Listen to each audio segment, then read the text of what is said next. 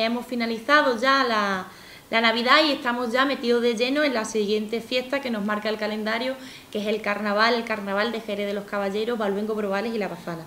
Quedan prácticamente dos semanas y estamos hoy aquí para hacer la presentación del programa de este carnaval. El jueves tenemos, como bien has dicho, el preámbulo con la zumba carnavalera que será en el pabellón a las 8 de la tarde. Continuamos el viernes con el ya clásico gran desfile de nuestros centros educativos. Eh, arrancará en torno a las once y media de la mañana.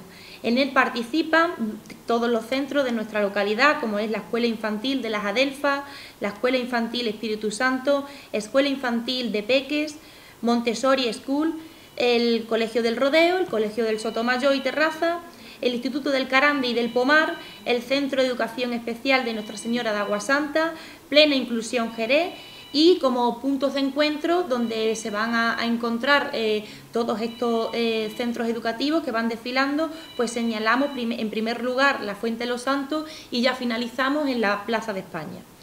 Ese mismo viernes por la tarde tenemos el gran esperado certamen de murgas en nuestro Cine Teatro Balboa, que comenzará a las ocho y media de la tarde.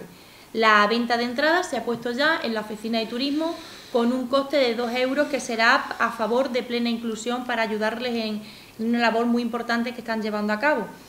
Eh, a las ocho y media arrancará este certamen de Murga con el pregón a cargo de la familia Sousa Coder, como dábamos a conocer la semana pasada. Este certamen de Murga irá presentado por Carmen Callero y Manuel Fernández y disfrutaremos en esta ocasión de cinco murgas. A continuación voy a nombrarlas por orden.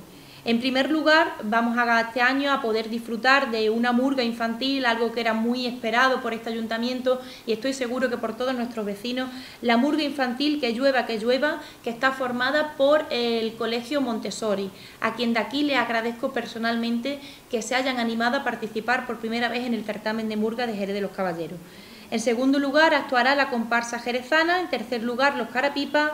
En cuarto lugar, las inesperadas. Y ya para finalizar, los farraguas y posterior a este gran certamen de Murga disfrutaremos a partir en torno a las 11 de la noche de una animación en la carpa de la Plaza de España, la cual estará instalada para estos días de carnaval y entre ellos habrán varias animaciones como DJ y diferentes tipos de música.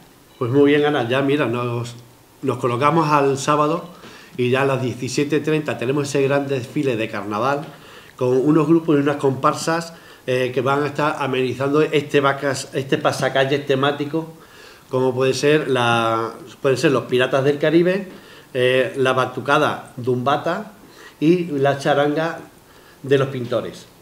Luego ya nos vamos con el recorrido. El recorrido lo vamos a iniciar en la calle del Campo, iremos eh, Calleritas y seguirá por la Avenida Portugal, Cristóbal Colón, Lecheros, El Santo, Plaza de los Mártires, calle Barranca, llegaremos a la corredera Hernando de Soto para ir continuando por Vasco Núñez de Balboa y ya vamos a terminar en la Plaza de España. Eh, en cuanto a lo que es el recorrido, vamos a estar, o hemos pensado de hacer una actuación de murgas y os voy a nombrar ahora los siguientes puntos con su horario. El horario empezaremos a las 5 de la tarde, media hora antes del inicio del desfile, con actuación en frente del oasis. Luego a las 18.30 se tiene programado para la Plaza de los Mártires una siguiente actuación que se hará en el Arco de Burgos sobre las 19.30 para terminar ya a las 20.30 en la Plaza de España. Siguiendo todo esto tendremos luego ya para finalizar lo que es este gran desfile de carnaval, a las 11 de la noche tenemos una actuación en la, en la carpa de la Plaza de España con un DJ. Bueno, pues como bien ha dicho mi compañero, el concejal de Obras y Servicios y de Comercio, Sebastián, Animamos también y agradecemos a todos los jerezanos que se han sumado para participar y hacer posible el gran desfile de Jerez. Animamos que hasta mañana estamos en plazo, por si todavía alguien está ahí reticente a apuntarse, que nos pongamos nuestro mejor disfraz, nuestras mejores galas, que cojamos cualquier trozo de tela, cualquier cosa en casa y nos animemos a salir a las calles y a, iluminar el, el carnaval de Jerez de los Caballeros, que cuanto más seamos, pues más grande será nuestro carnaval.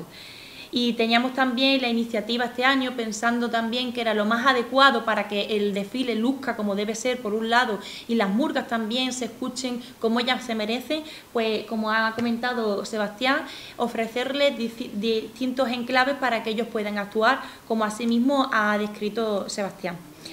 Y ya finalizamos el domingo con el entierro de la sardina.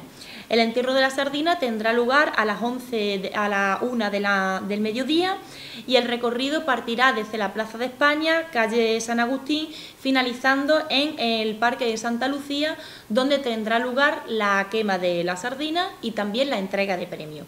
Irá amenizado por la charanga también este, de los pintores, que vuelve a actuar, y disfrutaremos por la tarde de una gran actuación dirigida al público infantil, una disco show para, eh, para los niños.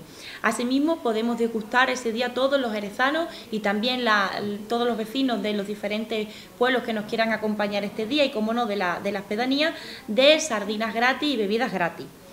Y por último ya, pues animar a que el carnaval no acaba aquí. El carnaval de Jerez continúa el próximo fin de semana en Baluengo, Brobales y La Bazana. Tanto el sábado como el domingo están preparando eh, unos días bastante atractivos para todos estos vecinos y su programa se dará a conocer en los días siguientes.